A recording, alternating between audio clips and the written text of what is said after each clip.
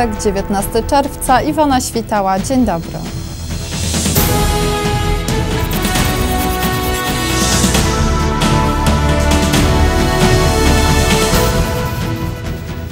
Zaczynamy wiadomości dzisiaj w programie.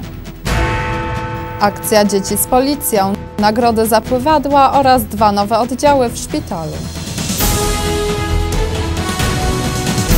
Z licznych telefonów od naszych widzów dowiadujemy się, że emitowany wczoraj reportaż z uroczystych obchodów jubileuszu 900-lecia Raciborza bardzo się podobał. Dla tych z Państwa, którzy nie mieli możliwości zobaczenia tej relacji, powtórzymy ją dzisiaj zaraz po wiadomościach. Przez cały rok szkolny brali udział w kampanii Zachowaj trzeźwy umysł. Dzisiaj postanowili przekazać to, czego się nauczyli mieszkańcom Raciborza, a mowa o uczniach szkoły podstawowej nr 4, którzy wymaszerowali rano na ulice naszego miasta.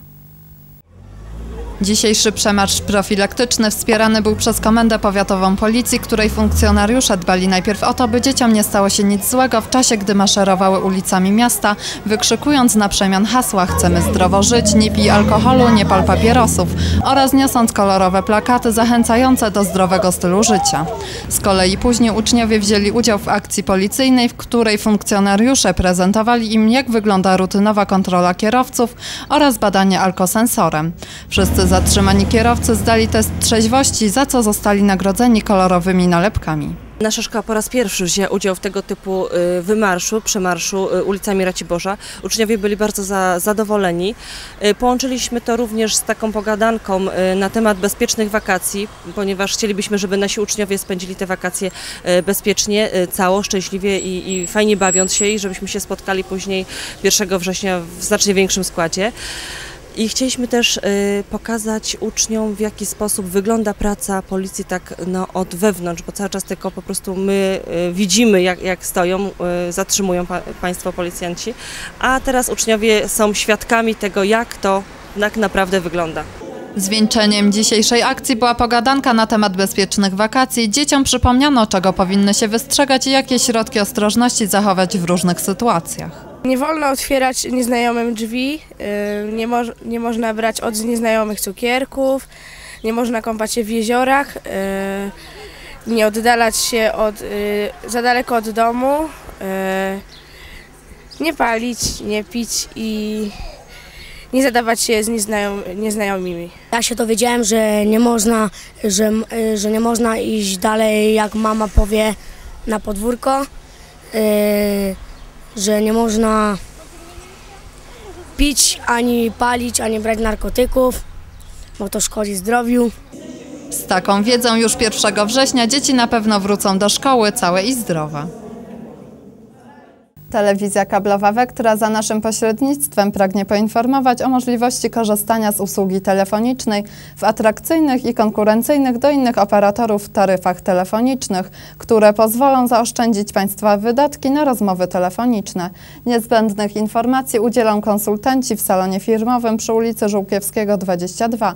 Jednocześnie zapraszamy do kontaktu telefonicznego z przedstawicielem handlowym pod numerem telefonu 608 850 390. Prezydent miasta nagrodził dzisiaj załogi jego zdaniem najbardziej pomysłowych pływadeł, które wzięły udział w dziewiątej już edycji imprezy zwanej Odra Rzeką Integracji Pływadło 2008.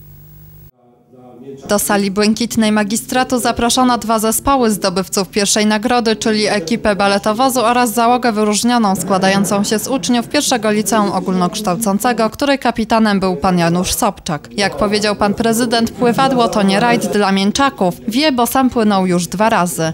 Na ręce tegorocznych uczestników złożono podziękowania oraz wręczono nagrody, ale jak mówią właściciele najbardziej oryginalnego i atrakcyjnego pływadła, nagrody nie były ich celem. Chcieli po prostu spróbować czegoś nowego, bo płynęli pierwszy raz. Nie płynęliśmy z myślą o tym, żeby tam zajmować któreś miejsca, em, także, także nie obchodziło nas to za bardzo.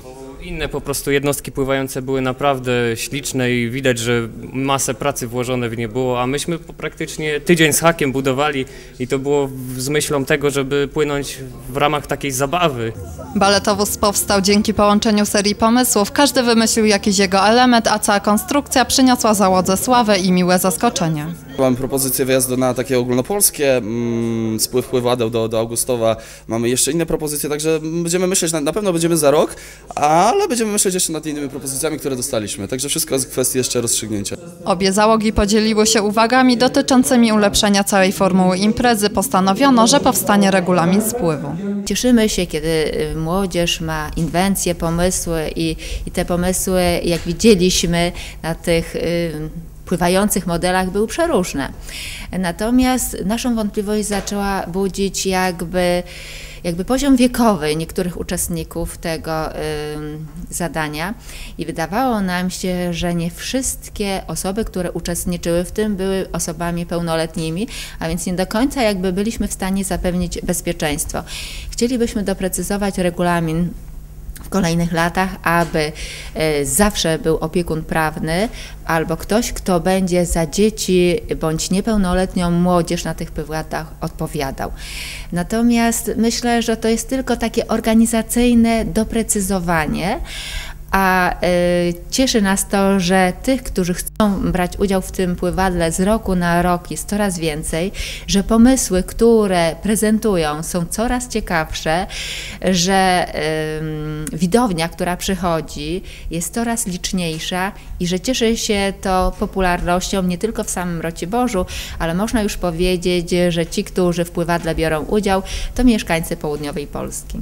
Miła atmosfera i ciekawa forma całej imprezy zachęciła tylko obie wyróżnione załogi do dalszych planów związanych z pływaniem na byle czym. Nie ma już żadnych wątpliwości. Szpital rejonowy w Raciborzu powiększy się o dwa nowe oddziały. Tak zadecydowała wczoraj Rada Społeczna Szpitala. Pozostają jeszcze tylko kwestie formalne i akceptacja Narodowego Funduszu Zdrowia. Wczoraj w zasadzie jednym z ważniejszych punktów, może nie głównym, bo głównym to była opinia na temat sprawozdania finansowego y, Szpitala Rejonowego w Raciborzu za poprzedni rok obrachunkowy i z drugim z ważnych punktów była zmiana y, w statucie y, związana z tym, że chcemy zgłosić dwa nowe oddziały, zarejestrować i uzyskać kontrakt w NFZ. I też wymaga to zaopiniowania przez Radę Społeczną.